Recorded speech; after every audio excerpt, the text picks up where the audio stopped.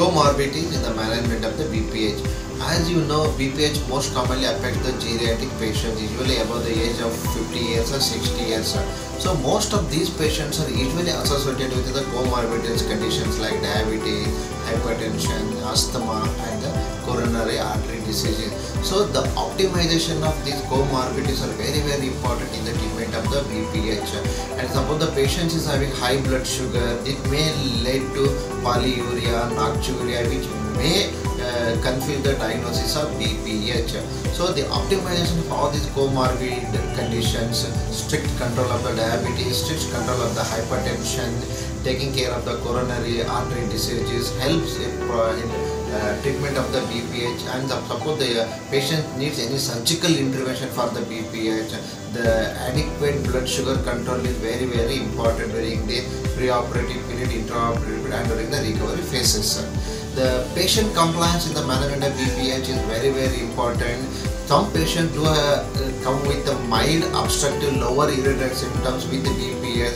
Such patients we advise, we usually put them on uh, medication, combination of medication like tamsulosin and dutasteride, silodosin and dutasteride combination. So when the patient needs to take these tablets daily on daily basis and regularly, we have seen some patients they got two tablets, one tamsulosin, they take keep taking it alternate day, and sometimes when they come for a follow up, they take it for one week or two weeks. When they get rid of the symptoms, they completely stop the medipa- medication. So the compliance uh, of the patient, the treatment of BPH and regular intake of the medication is very very important.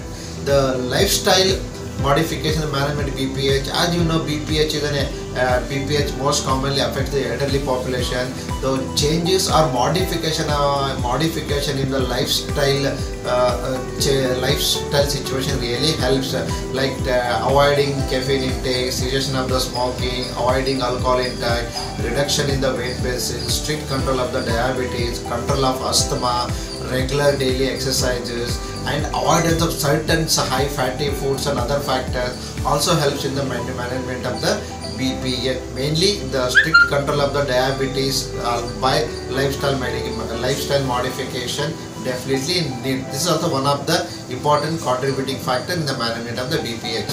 Thank you.